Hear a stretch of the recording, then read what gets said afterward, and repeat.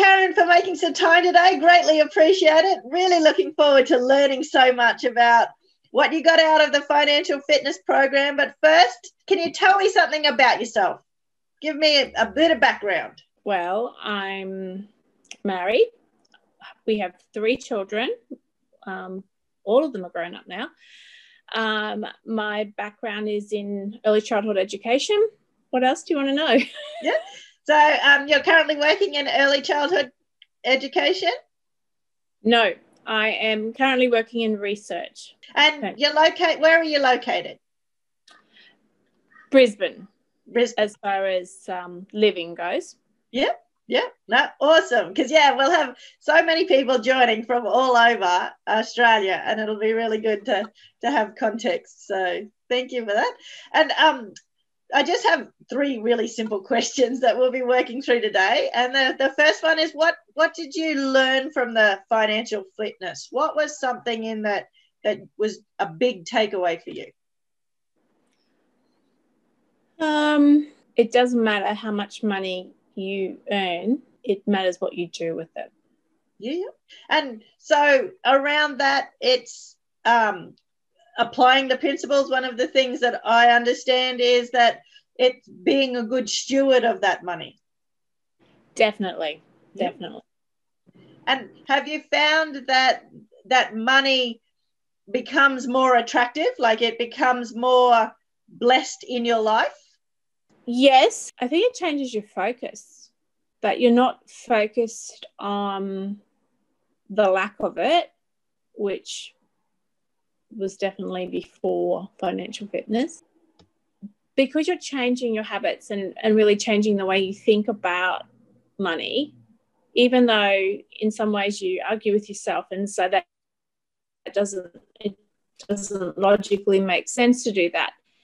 There's there's something really extremely powerful psychologically about um, how money works when you use the program the way you're meant to use the program. Yep. And I think it's that psychological change um, that attracts more blessing into your life. Definitely. Yeah, absolutely, absolutely. Because I know that um, in our program we have a lot about about tithings and about offerings can you tell me a little bit about that have you found that giving um, of money has brought blessings into your life? Yes definitely. Um, i find that when we are tithing um, and giving on top of tithing um, the focus is not on ourselves. The focus is also not on um, on our own needs. The focus is instead placed on others, and because you change your focus, your energy is different, and um, your outlook is different, and so consequently, what happens is this great joy that you're experiencing giving to others um, and there's great joy in focusing on others rather than focusing on yourself. And the serendipities of that are that because you're not focusing on yourself, somehow miraculously, if you want to use that word, um, other things seem to fall in place because you're not fixating on a sense of lack. Yep.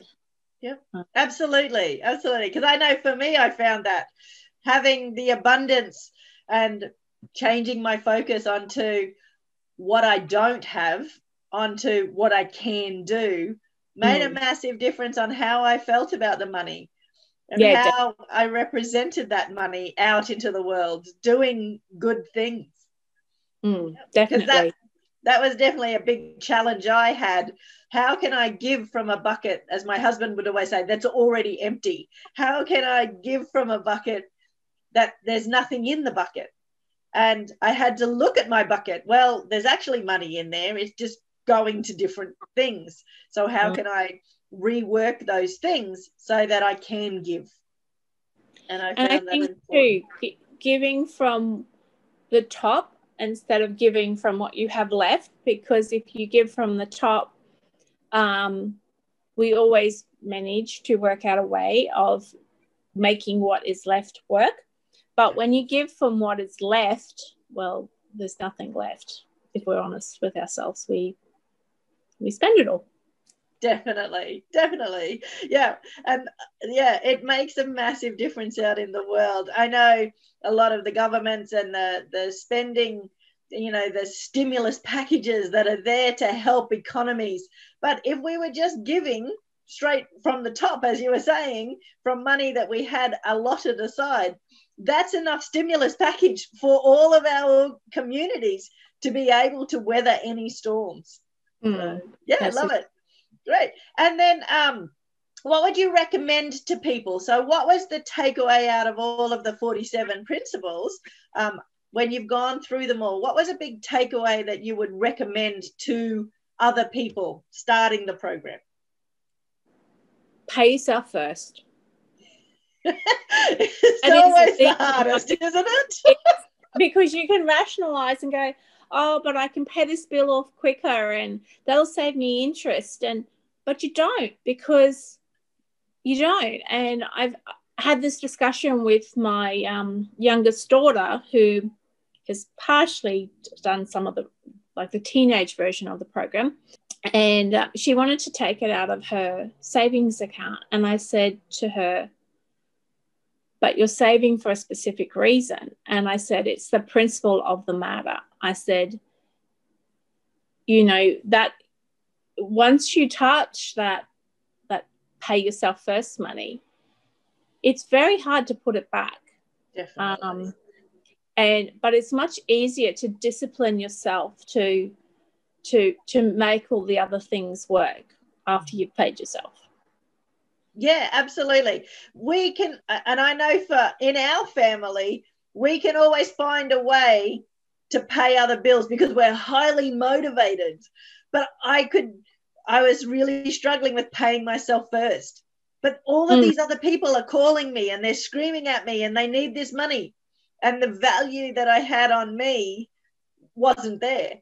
So when it came to pay yourself first, it's like, but these other people. And yet I was always able to pay them because I was highly motivated because they were yelling at me. So increasing that income, making it, making it, and finding a way. Uh, creative solutions. My my husband has found money on the street. He's found collecting cans. We've found incredible ways to make it work. And some of them are very much not glamorous at all. But it was what we needed to do to get through that rough spot, to get through that to the other side. And when we're on the other side, we don't have to do those horrible things anymore. No. Yeah, yeah.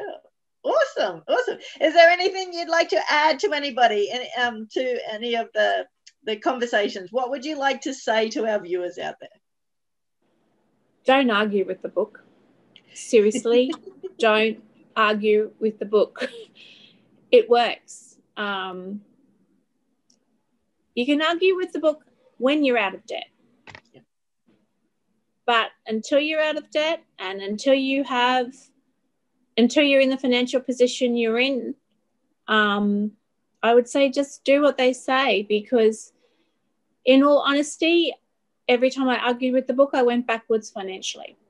And every time I swallowed my pride and admitted that I really didn't know what I was doing because if I did, I would not be in this situation. Um, so when I accepted that they were right, and it's a psychological thing. It really is a psychological thing. When you see that money growing in your account, that is just such an incredible feeling. When you pay off debts, that is such an emotional experience. And when you give out of your abundance, out of instead of out of what is left over, that is such a fulfilling and rewarding experience. And the opportunities that then open themselves up to you, to your family, things that you would never have been able to consider doing before because you hadn't disciplined yourself financially or you didn't know how to discipline yourself financially. This will give you all the right information and all the right tools to do it. And and I love the fact that they encourage you to revisit it because let's face it, when you pay off a debt, you need to set a new financial goal. Mm. You know, when you achieve something, then you set a new a new goal. And because if we don't, we then tend to go backwards. Um, so I just like um, the fact that we are encouraged to revisit it um, every so often. And every time our financial situation changes, or every time we meet a financial goal, we revisit it because we need to reset those and yeah, look definitely. at where we're going now. So, yeah, yeah. Yeah. And I love it with the mentoring and hindsight's always a great thing. After you've learnt the principles and then you can apply it easily, but going through it, I know for me, I was like, that doesn't make any logical sense. Why would I want to do that principle? That, that's just difficult and it's uncomfortable and I and I don't want to do it. but you're exactly right. When you look at it backwards, you go, oh, of course, that made all the difference. It does make all the difference.